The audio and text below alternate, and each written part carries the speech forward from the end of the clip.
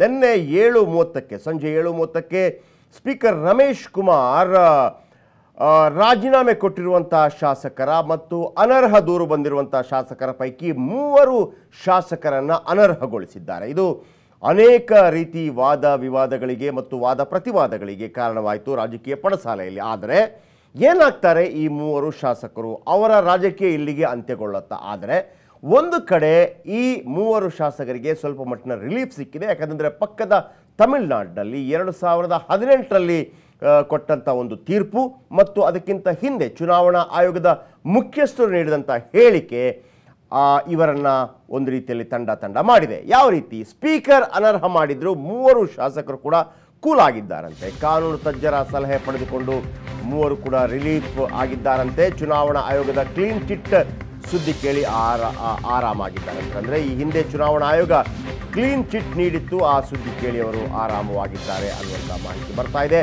ಮೂವರು ಅನರ್ಹಗೊಂಡರು ಚುನಾವಣಾ ಸ್ಪರ್ಧೆಗೆ ನಿರ್ಬಂಧ ಇಲ್ಲ. ಯಾಕಂದರೆ ನಿನ್ನೆ ಸ್ಪೀಕರ್ ಅವರು ಯಾವುದೇ ಕಾರಣಕ್ಕೂ ಹದಿನೈದನೇ ವಿಧಾನಸಭೆಯ ಅಂತ್ಯದ ತನಕ ಅವರು ಯಾವುದೇ ಚುನಾವಣೆ ಅಥವಾ ಮಂತ್ರಿಗಳಾಗೋದಕ್ಕೆ ಸಾಧ್ಯವಿಲ್ಲ ಅನ್ನೋದನ್ನು ಬಹಳ ಸ್ಪಷ್ಟವಾಗಿ ಹೇಳಿದರು.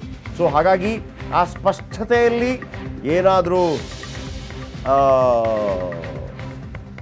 ತೊಂದರೆಗಳು ಉಂಟಾಗತ್ತಾ ಅನ್ನುವಂಥ ವಿಚಾರದಲ್ಲೂ ಕೂಡ ರೆಬೆಲ್ ಶಾಸಕರು ಆಲೋಚನೆ ಮಾಡ್ತಾ ಇದ್ದಾರೆ. ಆದರೆ ಈ ಹಿಂದೆ ಚುನಾವಣಾ ಆಯೋಗ ಒಂದು ರೀತಿಯಲ್ಲಿ ಕ್ಲೀನ್ ಚಿಟ್ ನೀಡಿತ್ತು. ಎರಡು ಸಾವಿರದ ಹದಿನೆಂಟರಲ್ಲಿ ಪಕ್ಕದ ತಮಿಳುನಾಡಿನಲ್ಲಿ ಹದಿನೆಂಟು ಶಾಸಕರು ಅನರ್ಹಗೊಂಡಾಗ ಅವರಿಗೆ ಚುನಾವಣೆಯಲ್ಲಿ ಸ್ಪರ್ಧಿಸುವುದಕ್ಕೆ ಅವಕಾಶ ಸಿಕ್ಕಿತ್ತು.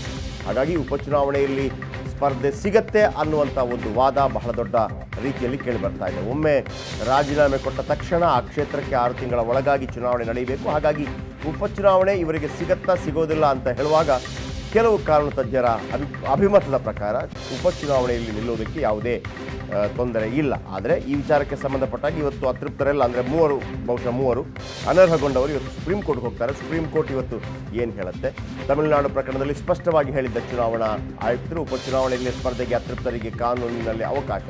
ಮತ್ತೊಂದು ಕಡೆ ಸಂವಿಧಾನದಲ್ಲೂ ಆ ಒಂದು ಅವಕಾಶ ಇದೆ ಅನ್ನೋದನ್ನು ಕಾನೂನು ತಜ್ಞರು ಹೇಳ್ತಾ ಇದ್ದಾರೆ. ಯಾಕಂತಂದರೆ ಒಂದು ವೇಳೆ ಅವರು ರಾಜೀನಾಮೆ ಕೊಟ್ಟು ಅನರ್ಹಗೊಂಡರೂ ಕೂಡ ಮುಂದೊಂದು ಚುನಾವಣೆ ನಡೆಯೋ ತನಕ ಅವರು ಅನರ್ಹಗೊಂಡಿರ್ತಾರೆ. ಆದರೆ ಮುಂದೆ ಮತ್ತೆ ಸಾರ್ವಜನಿಕವಾಗಿ ಚುನಾವಣೆಗೆ ನಿಂತು ಗೆದ್ದು ಬಂದರೆ ಯಾವುದೇ ಅಡೆತಡೆಗಳಿರೋದಿಲ್ಲ ಆದರೆ ಅಲ್ಲಿ ತನಕ ಅವರು ಮಂತ್ರಿಗಳಾಗೋದಕ್ಕೆ ಆಗೋದಿಲ್ಲ. ಅದಂತೂ ಮುಖ್ಯ. ತಮಿಳುನಾಡು ಮುಖ್ಯ ಚುನಾವಣಾ ಆಯುಕ್ತರಾಗಿದ್ದಂಥ ರಾವತ್ ಅವರು ಈ ಹಿಂದೆ. ರಾವತ್ ಅವರು ಈ ಹಿಂದೆ ಮುಖ್ಯ ಚುನಾವಣಾ ಆಯುಕ್ತರಾಗಿದ್ದರು ತಮಿಳುನಾಡು ಮುಖ್ಯ ಚುನಾವಣಾ ಆಯುಕ್ತರಾಗಿದ್ದರು ರಾವತ್ ಅವರು. ಅನರ್ಹತೆ ಆದರೂ ಸ್ಪರ್ಧೆಗೆ ಎರಡು ಸಾವಿರದ ಹದಿನೆಂಟರ ಅಕ್ಟೋಬರ್ನಲ್ಲಿಯೇ ಕ್ಲೀನ್ ಚಿಟ್ ಕೊಟ್ಟಿದ್ದರು. ತಮಿಳುನಾಡಿನ ಮುಖ್ಯ ಚುನಾವಣಾ ಆಯುಕ್ತರಾಗಿದ್ದರು ರಾವತ್.